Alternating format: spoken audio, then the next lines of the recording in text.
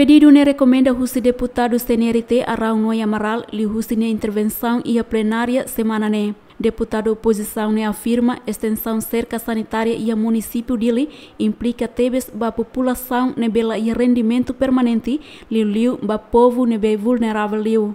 Honune, o governo atual identificação na lais não foi atenção sério ba assunto hirakne. O governo buka política da se fosse ne beija identifica a população que merece ter teves, mas ela concorda com o sistema e da ULU, faz 200 dólares para o todo. Incluída se não se moto 200 dólares. Não é a la lógica. Itu lah hetan mas funcionário tiro outro hetan, né? Hetan todo. Ao concorda né, foba sir nebe que merece ter teves e a situação ida nessa né.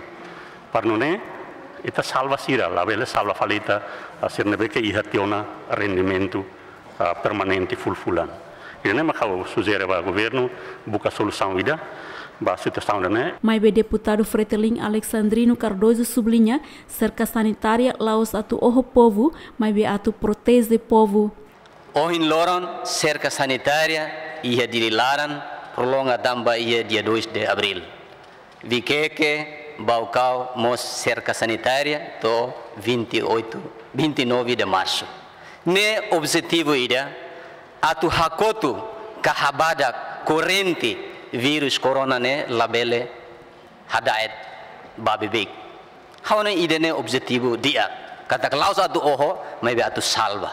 Tamane mag ito hotu hanesan sida down ya raida ne.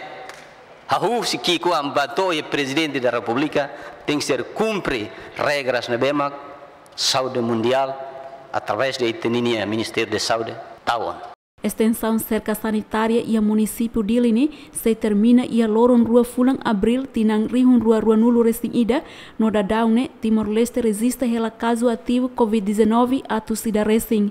Fátima Pereira, Elugaio, Ziemen.